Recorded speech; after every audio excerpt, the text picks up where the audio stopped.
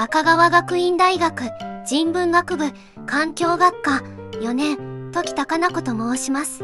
本日面接を担当させていただきます牧内と申します。早速ですが自己 PR をお願いします。私は働くのが嫌いでできるだけ仕事をサボりたいな負け者です。は？ですが嘘をつかない正直者です。御社の内定をください。いや確かに正直者だけどそれ以外マイナスポイントしかないじゃない就職面接は企業が採用したいと思わせることを言わないと。何かそういう長所はないの？私はすごく顔がいいです。いやそうじゃなくて。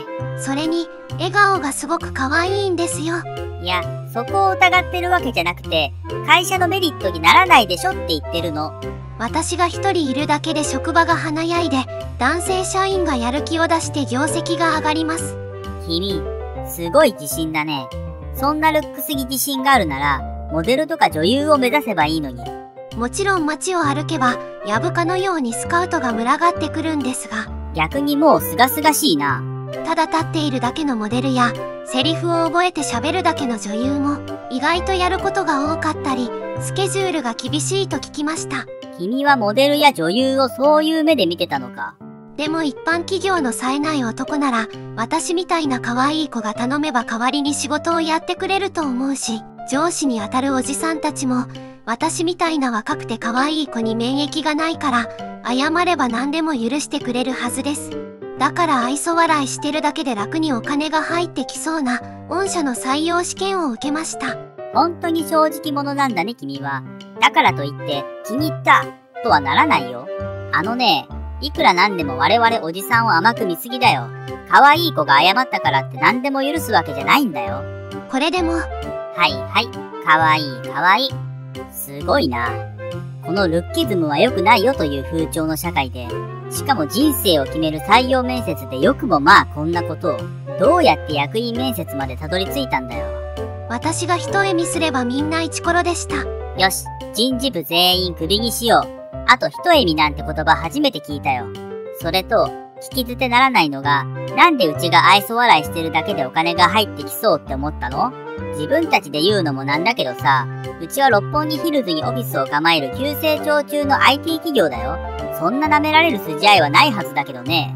六本木ヒルズに入ってる IT ベンチャーなんてまさに見てくれしか気にせず中身がないちくわみたいな企業の代名詞じゃないですか。社員は女子アナやタレントの卵と合コンすることしか脳のない下半身に脳みそがついてるようなやつしかいなくてこのご時世に女子社員を彼女かお嫁さん候補としか見てないような企業だと思ったので私みたいに顔面が優れた若い女の子なら楽勝で採用されると思ったんです。最初は正直者以外マイナスポイントって言ったけど正直者なところが一番のマイナスポイントだったな。ブチ切れてやりたい気持ちが半分と確かにそうとしか思えない連中が多いなという気持ちが半分ずつ同居してるよ。そもそもうちの社長がそろそろ採用する気になりましたか？あのね私はね別に女性は若くなきゃダメとは言わないよ。ただ君があまりにも見た目のことばかり言うから言わせてもらうけどさそんな可愛い子ぶりっ子でやり過ごせるのも若いうちだけだよ。もっと年齢を重ねた時君どうするの？こんな生き方すぐできなくなるよ。ご安心ください。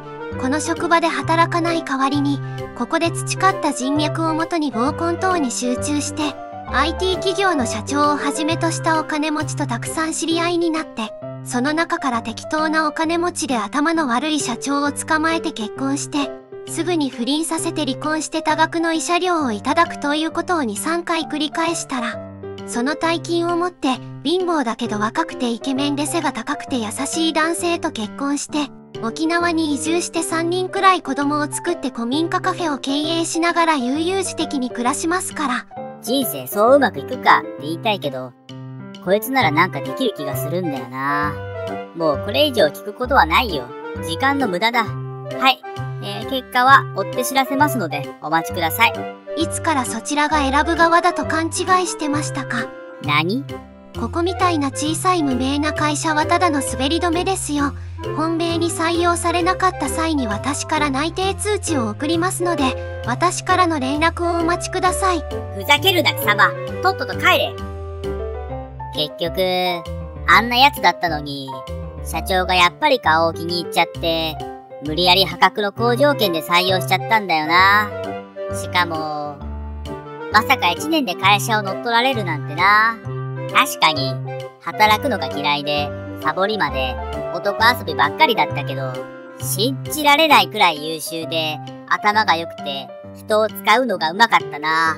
こいつが社長になってから業績も10倍に上がって一部上場したし、人間って生まれつき平等ではないんだな。いや、まさか、油断させるために、わざと？牧内専務、ちょっと。あ、はい社長、何でしょう？